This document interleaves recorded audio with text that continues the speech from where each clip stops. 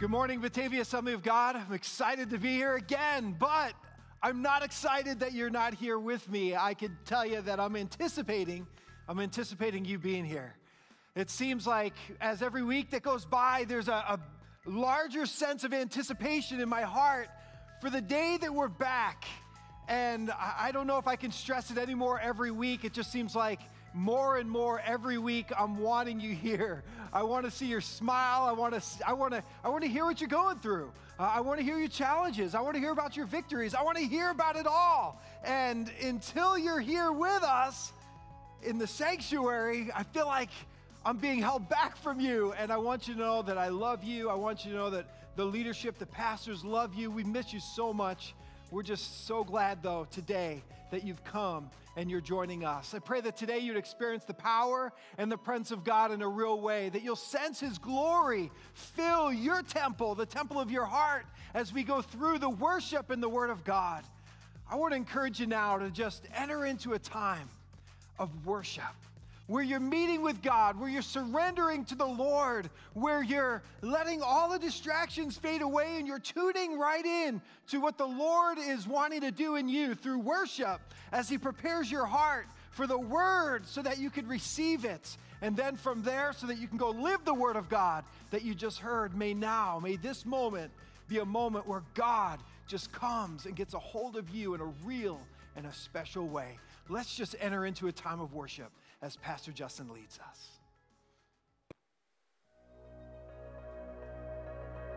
Good morning. Welcome to worship. Join me this morning as we sing praises to the King. Amen.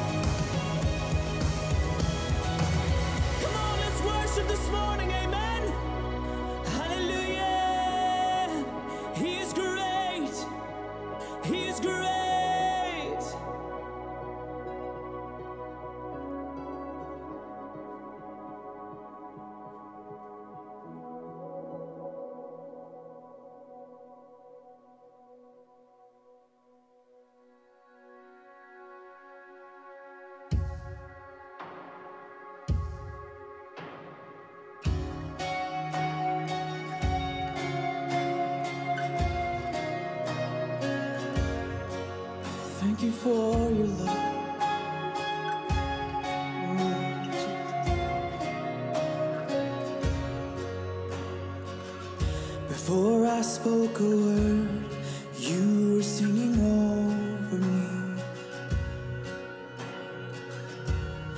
You have been so, so good to me.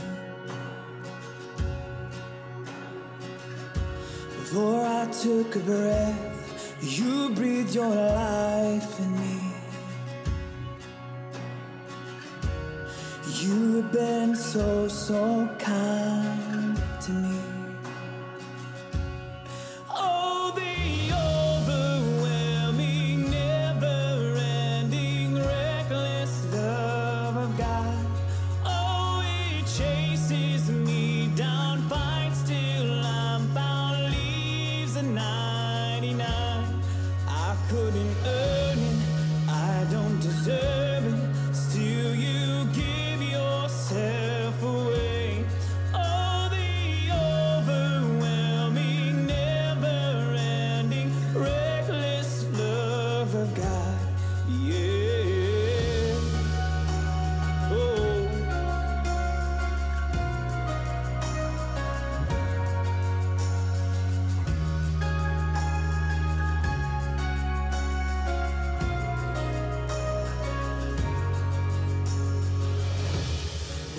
was your foe, still your love far from me.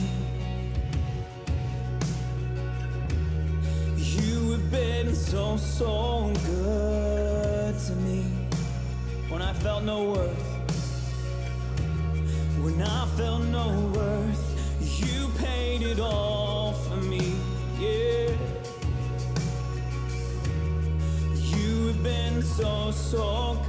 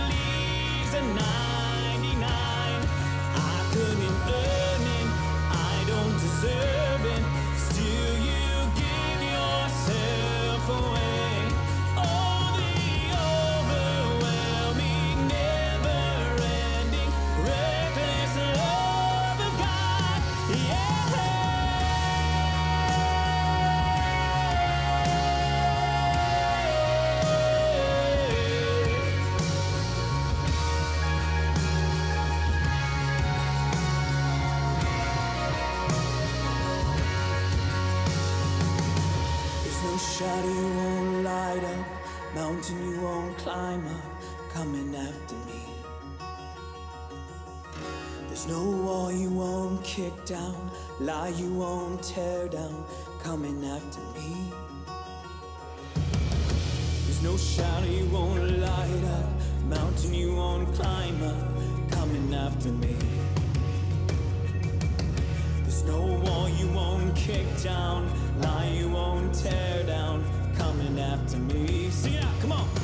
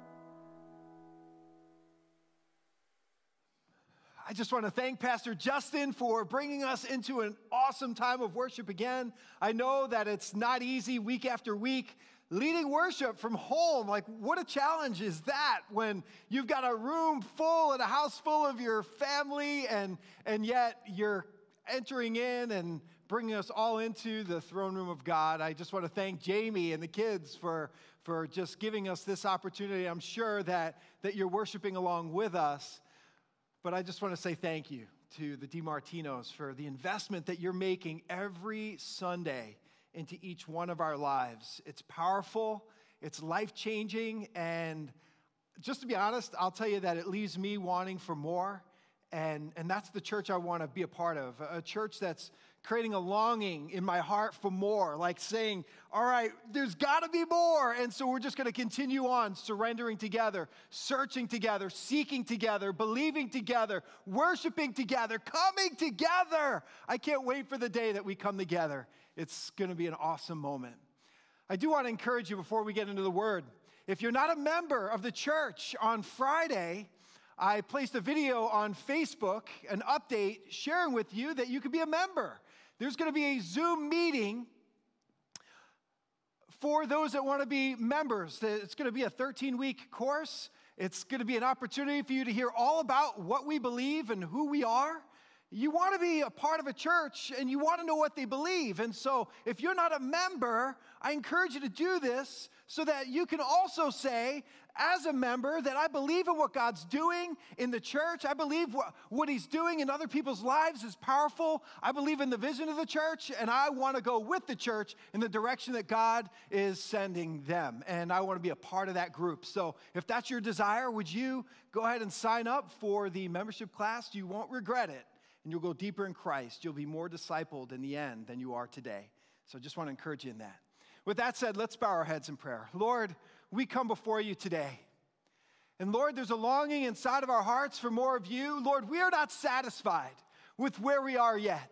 And that's why, Lord, on this Sunday morning, we're sitting here yearning for more of you. Lord, it's, this is why we are, are tuning in. Lord, we're focusing our heart on you. Lord, not on what's coming later, not what's coming on, on next later in the week, not what's happened in the past week. Lord, right now, we're just saying that God, you've got all of us. You've got our full attention. And so, Lord, we ask that you would just speak in an awesome and powerful way. In Jesus' name, amen.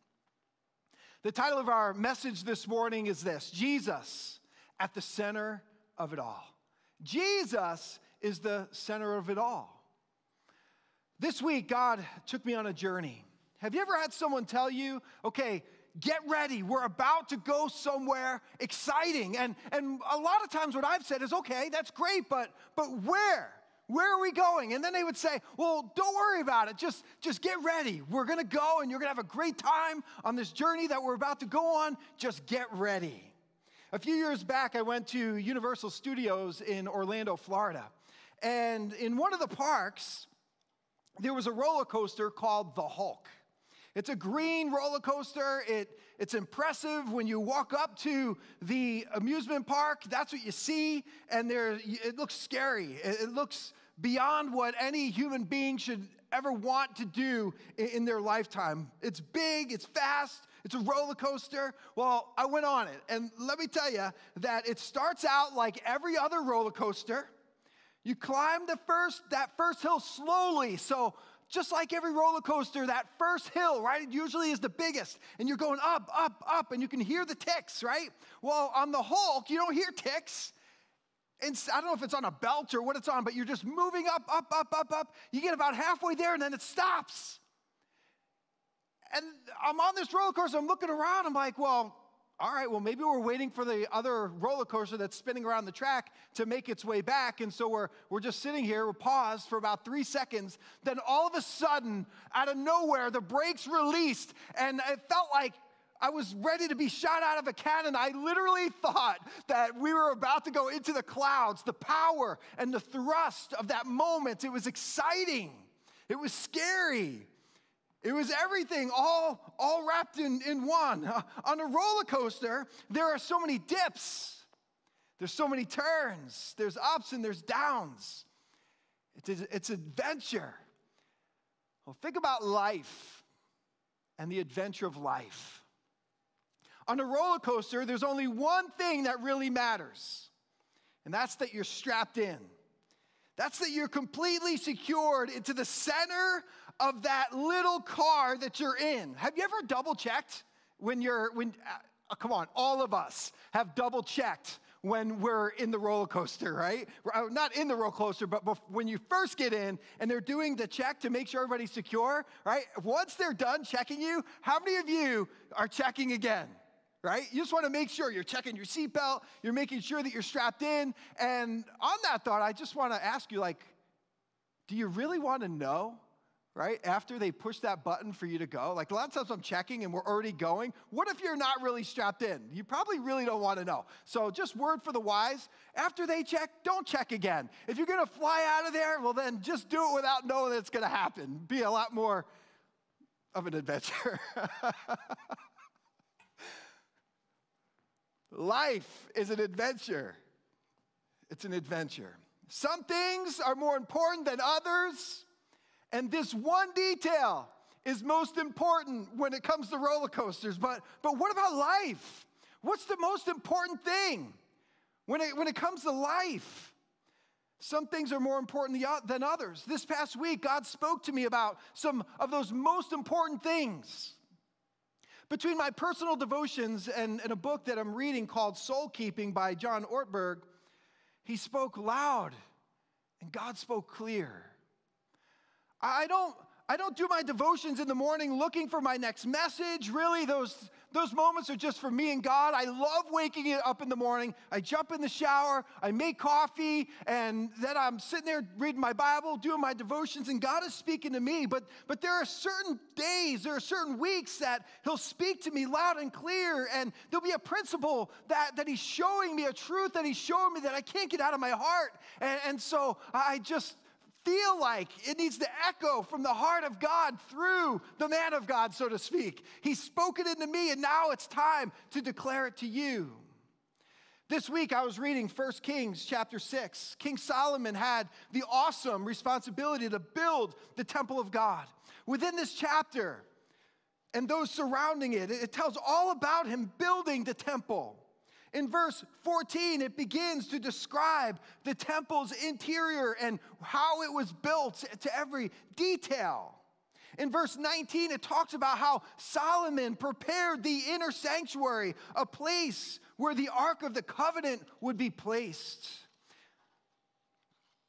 This was the inner sanctuary, the, the sanctuary of it all, the place where God dwelt.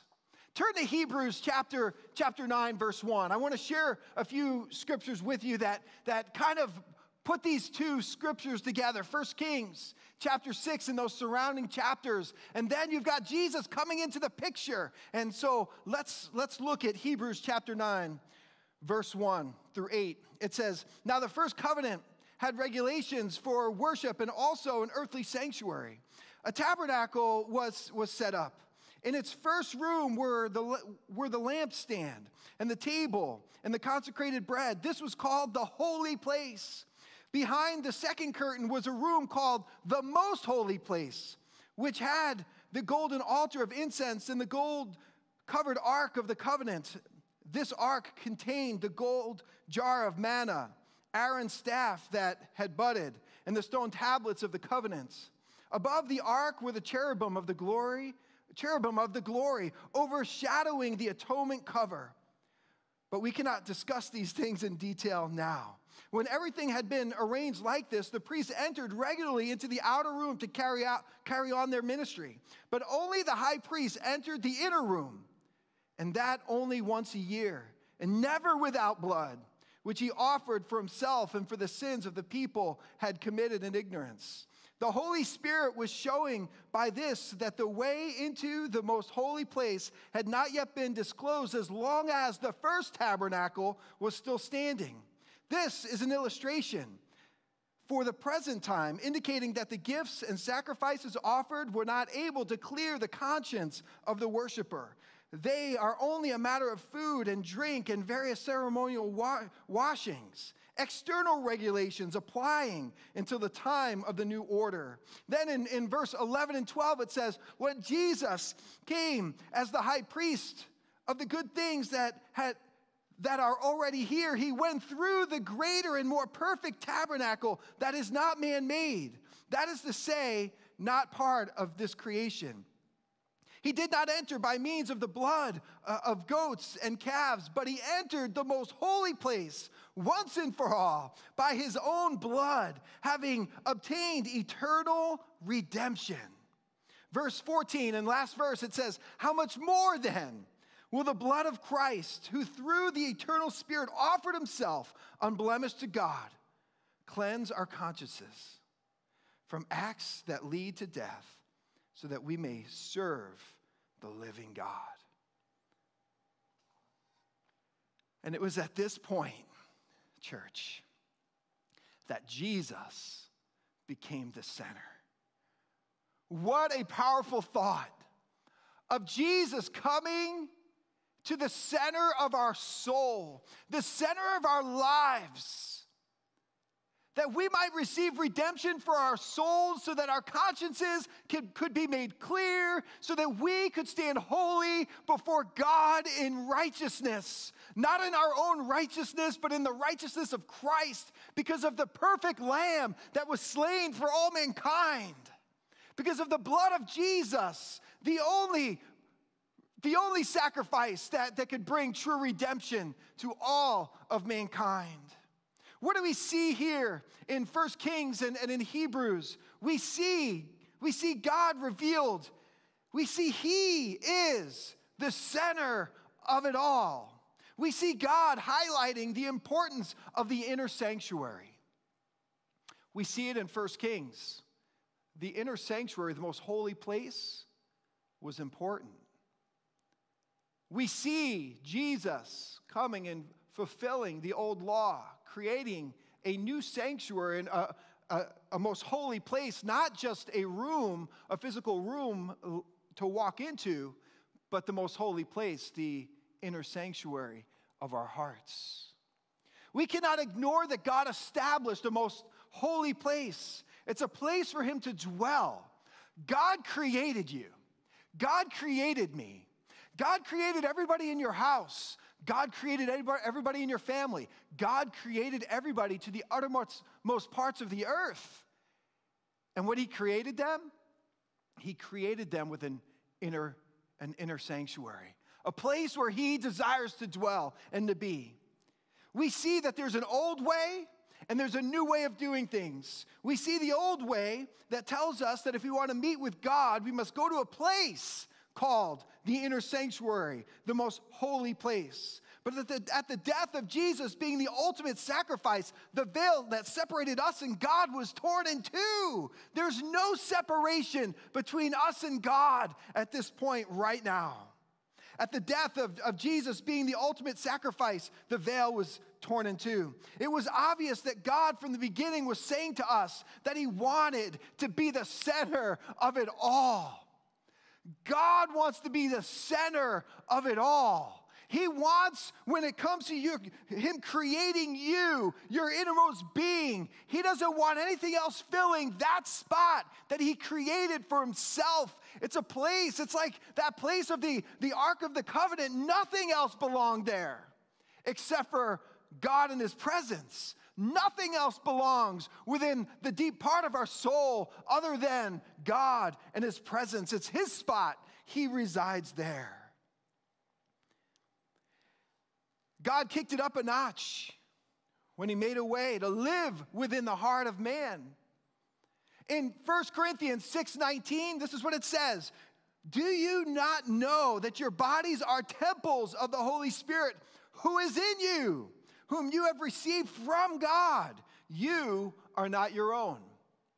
The Holy Spirit is in you. He's created that most holy place so that He could be in you. God created an inner sanctuary, a most holy place within each of us. It's the center of who we are. So, God, we see God revealing, He's the center of it all. That's point number one. Point number two this morning is this we all have a sense about us, and it's this we have a craving to fill the center. I've got to say, we, we underestimate God's desire to be the personal center of our universe. We, we underestimate that. We think that sometimes it's okay to have something else in that center. Whatever we're the most passionate about at the moment, will probably fill that center. But we underestimate God's desire to be to be the center. Let's look at what the word of God says. It, it, says in Exodus 34, 14, for you shall not worship any other God, for the Lord, whose name is jealous, which by the way, it's a capital J, is a jealous God. He is a jealous God. He's not jealous when you're excited and passionate about something good that's happening in your life. He's not jealous about that. He's not jealous that he's blessed you with maybe a good job or a beautiful family. He's not jealous that you have a nice house or a nice car or, or he's not jealous of the personality that he's given you. I mean, these are all blessings and gifts that he's given you. But what he is jealous, what he is jealous for, what he will not give up to anything or anybody else is the most holy place, the inner sanctuary the center of it all. He is a jealous God for that place. And He challenges us to guard, to guard our hearts, for it's the wellspring of our life. And if He's at the center of it all and we're guarding our hearts, we're guarding the center, the wellspring is going to be the flood, flooding of the Holy Spirit out of us. As we, as we speak and minister to people that are around us. Deuteronomy 4 23 and 24 says, Do not make for yourselves an idol in the form of anything the Lord your God has forbidden. For the Lord your God is a consuming fire, a jealous God.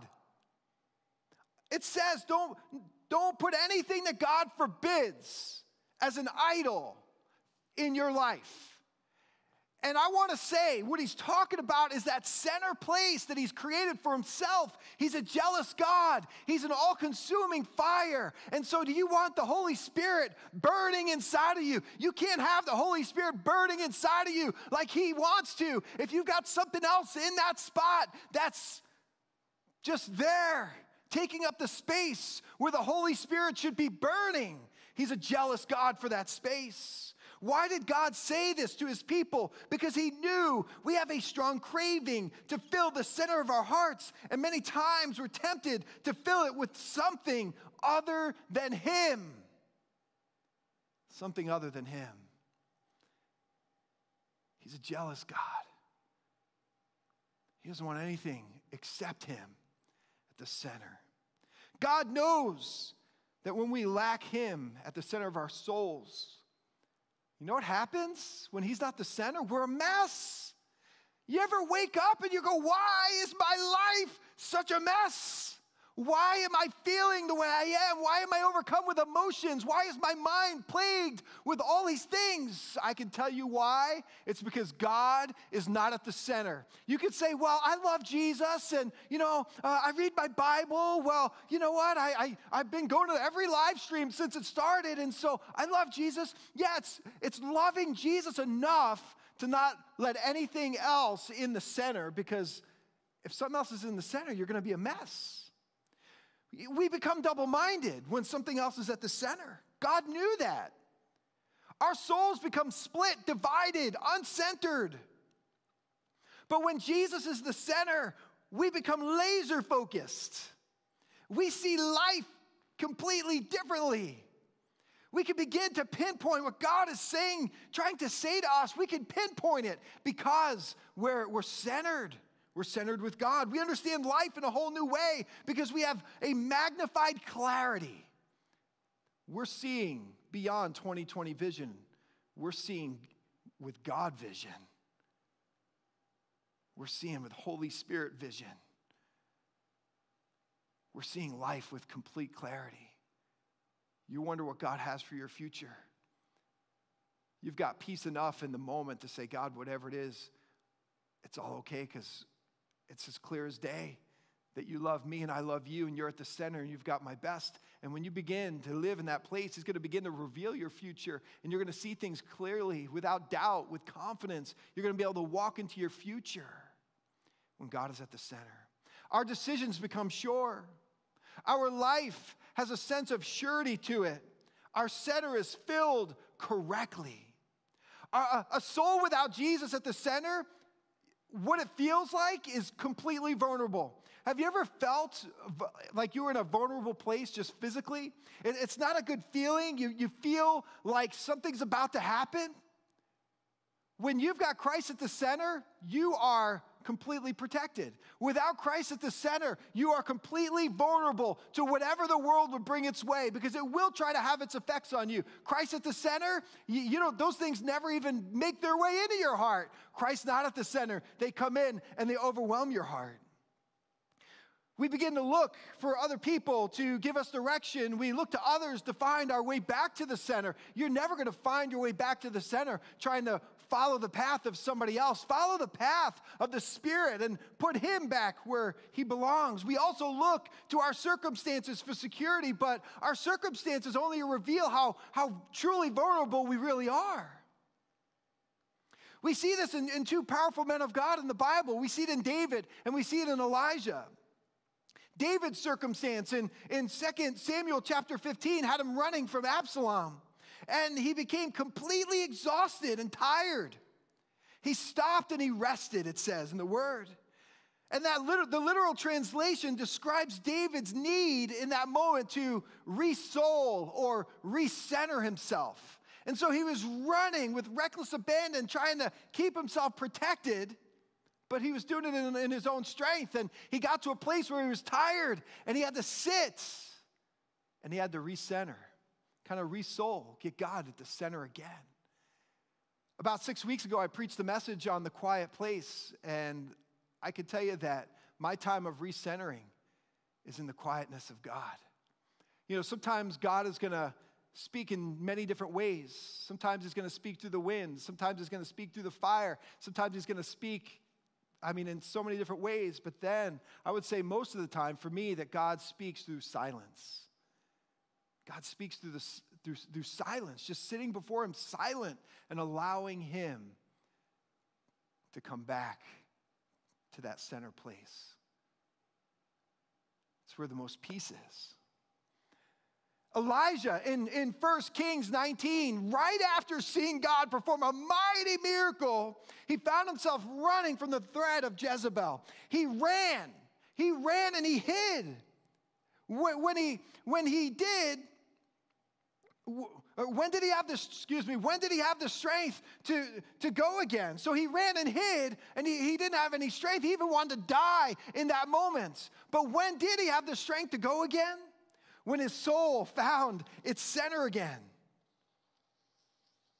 When, it, when his soul found his center in Christ. And I encourage you to read that story and you'll see it happen. It's a beautiful story.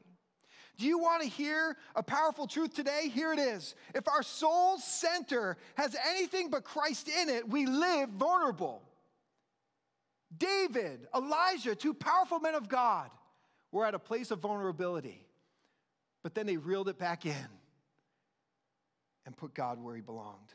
Life is complicated, stuff happens. Our jobs become threatened, friends betray us, we can't sleep at night, our health becomes uncertain. This all happens. It's just part of life. This happens. This is when being centered for us in Jesus matters most. When, these, when life is happening, being centered is what matters most, being centered in Christ. If your soul lacks a center when, when life comes at you hard and when life comes at you fast, what'll happen is you'll be quickly, you'll be quickly thrown off. You'll be thrown off emotionally, mentally, you'll be thrown off.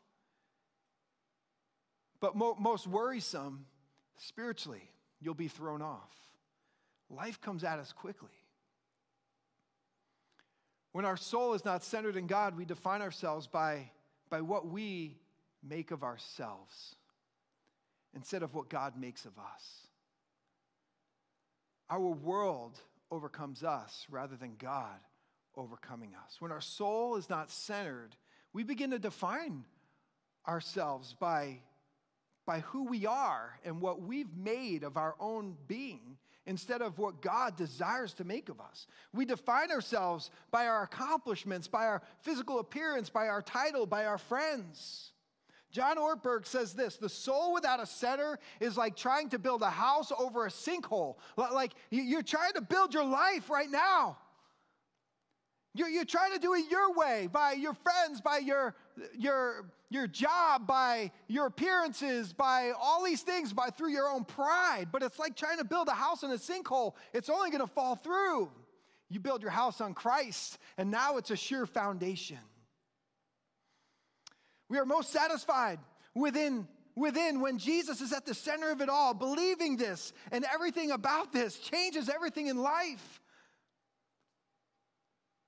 think a great thing that we can say as an individual is this, and I'll say this before you today I, I don't want to be Dan made, I want to be God made.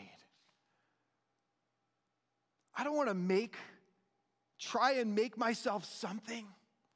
Just to look back on it all at the end of my life and see that all of my strivings was, were all for nothing. Instead, I want to live and I want God, I want to be God made. I want God to be making investments into my life, the whole journey of my life, so that one day when I do look back, I'm not gonna just see me squandering my life trying to do and be what I wanted to be, but instead, with Christ at the center of it all, I'm seeing what He made me to be. And all of the differences made along the way because of Him in me. Last point this morning every soul Every soul needs a captain. When Jesus is the captain of your soul, you don't need to have all the answers because you know the one who does. Amen? Come on, can you shout amen even from your living room or wherever you are today? When, when Jesus is the captain of your soul, we don't need to have all the answers of life because we know the one who does. A soul with Jesus as the captain always knows it has someone greater than themselves to hold their pain, to hold their fear, their anxiety, their worry, their, their discouragement, their troubled hearts. The captain of, of my soul carries those things because he never designed it that I would carry those things. What is the true spiritual life at its best? What does it look like? What does true spiritual life look like at its best? This is what it looks like when, when nothing becomes more important than getting back to the center. Well, how about this? When we quench the thirst of our soul with a drink from the hand and the heart of the captain of our ship. When we have God Almighty in the middle of our hearts, our thoughts, our will, and our way. What is true spiritual life at its best? How about this? When we acknowledge the greatest longing of our soul is for our center to be filled with God only. When is the true spiritual life at its best? When we realize, when we believe, and when we act knowing that God only, a God only heart, is, is the fullest, is the most satisfied, is the most completely equipped to live life on this earth. And lastly, when is true spiritual life at its best? When our whole outside world revolves, when it revolves on our whole Jesus, our whole Jesus centered inside world. My whole outward world revolves around my inward world in Christ Jesus. That's centered, centered in Him. And when it is, it feels good to do life because I know that He holds my whole world in His hands. And if He can do that, that's enough. That's enough for me. And I'll never forget it. Christ is at the center. Pastor Justin is going to sing a song that, that describes Jesus and who He is. He is our rock, He is our Redeemer, He is our center. You've heard the words shared this morning. I'm going to ask that while you listen to this song that Pastor Justin's about to sing, that you would just close in and allow the Holy Spirit to just work on you, Jesus being your center. Pastor Justin, would you lead us this morning? There is a truth older than the ages. There is a promise of things yet to come.